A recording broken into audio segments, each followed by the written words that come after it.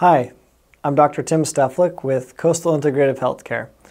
A common question we get in the clinic is what causes sciatica?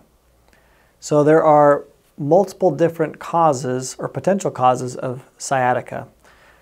Your sciatic nerve is about as big as your pinky and it runs all the way from your low back in the L4, L5 area and it goes all the way down the leg down to your toe.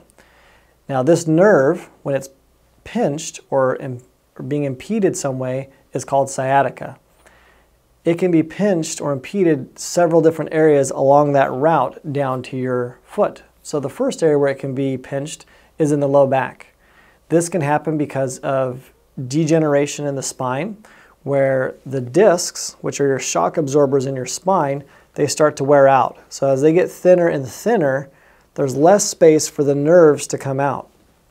If they run out of space or if they completely go away, those nerves can be pinched. You could have pain running down both legs and not just one side or the other.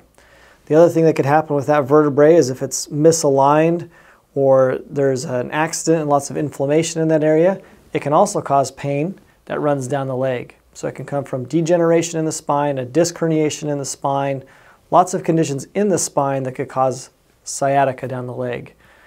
The other area where sciatic nerve problems can come from is called your piriformis muscle.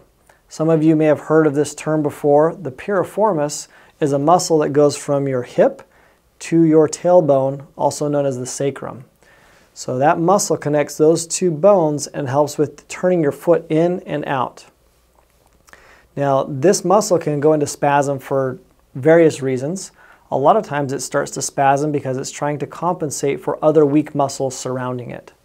So if the muscles have become weakened due to lack of use in, in the butt area, then that muscle starts to tighten up.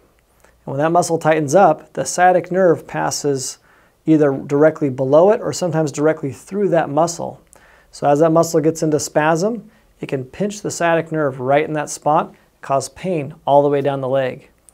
Sciatic nerve pain can be completely debilitating to the point to where somebody can't walk, they can't think, they can't concentrate. Um, it can be very, very painful and stop a person from doing all their activities at work, home, school, whatever it might be.